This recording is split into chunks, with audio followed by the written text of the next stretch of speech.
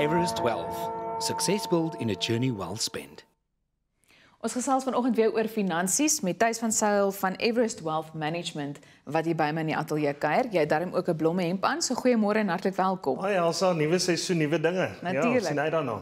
Goed Thys, ons begin vanoggend met verskillende bateklasse. Wat het jy om vir ons te vertel? Weet jy, alsa mense is bekommerd daar buite oor bateklasse, veral waar om te belê op hierdie stadium van die geveg. Jy weet, ons ekonomie lyk nie goed, die wêreldekonomie lyk maar maar wolkerig. So toe dink ek nee, ek gaan 'n bietjie vanoggend net gesels oor verskillende bateklasse.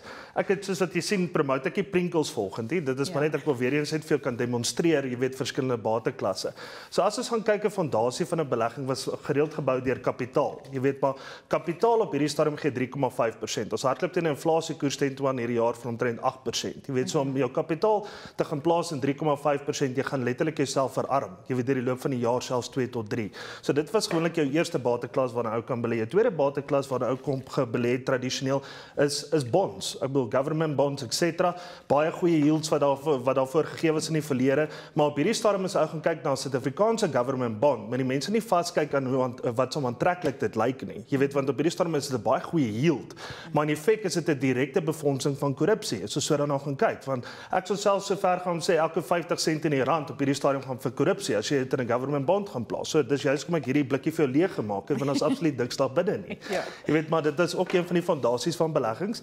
Tweede ag die derde ene is wat tipiese kommoditeite, goud etc wat baie goed doen en daar's 'n rede ook jy weet hoekom goud goed doen want dit is 'n dit is 'n wêreldkommoditeit. Daar's 'n tekort daarin en natuurlik jy weet dis 'n baie stabiele tipe van platform wat hy daar buite het. Die die, vierde ene wat hy kry is eiendom. Kommersiële eiendom, rental, wat saam eiendom ensovoorts. So, so 'n tweede of 'n derde eiendom wat jy uitverhuur het ensovoorts. Maar op hierdie stadium het jy omtrent uh, die eiendomsmark het omtrent geval met 40 tot 60% jy weet op gelyste uh, wat saam eiendomme Ja. en waar eiendom gewoonlik 'n baie stabiele wat saam platform was, is dit op hierdie stadium die swakste wat so um, um, as jy gaan kyk bateklas wat 'n ou daar buite het. So hierdie is tipiese fondasie. Maar nou die goedjies wat jou groei gemaak het daar buite was gelyste aandele gewees en ongenoteerde aandele en geleentheidsaandele. Okay, dit is nog altyd goed gedoen. So maar as jy nou vandag gaan kyk, as ek een van hierdie goedjies gaan wegvat, dan tuimel hier die hele wat saam portefeulje uitmekaar uit. So die fondasie wat ons vandag daar buite het waarop dit gereeldelik gebou was, is daarmee heen. So nou moet 'n ou 'n ander fondasie begin bou. Everest Wealth help daarmee. So ons gaan selekteer dan nou vir jou die twee top bateklasse waarin jy eintlik moet belê en ons gaan wys hoe om daarin te belê sodat jy nie daai intuimeling van 'n portefeulje ervaar daar buite nie. Baie oulike manier om dit vir ons te verduidelik. Kom ons verwys dit weer na julle veld tog hersien, hersien, herstel.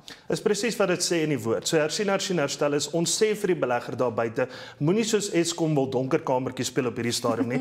Kom uit, praat met ons, gesels met ons en laat ons sien wat ons vir jou kan doen daar buite. Want daar is genoegsame geleentheidsaandele daar buite wat 'n ou nog steeds soos die Engelsman 'n killing uit kan maak. Die belegger daar buite kan die woordjie belê SMS na 45906 en ons sal kontak maak met hulle met 'n geakkrediteerde adviseur. Goed Thys, baie dankie vir jou insig wat jy vanoggend weer met ons kom deel het. En soos wat jy dan nou reeds gehoor het, uh, Thys wat dan nou sê, jy kan gerus 'n uh, SMS stuur met die woord belê na 45906 vir meer inligting. Onthou SMS se kos R2, BSMV se geld en ons sê weer eens dankie vir Thys van Sail van Everest Wealth Management. Everest Wealth. Success built in a journey well spent. Kom ons gaan groei.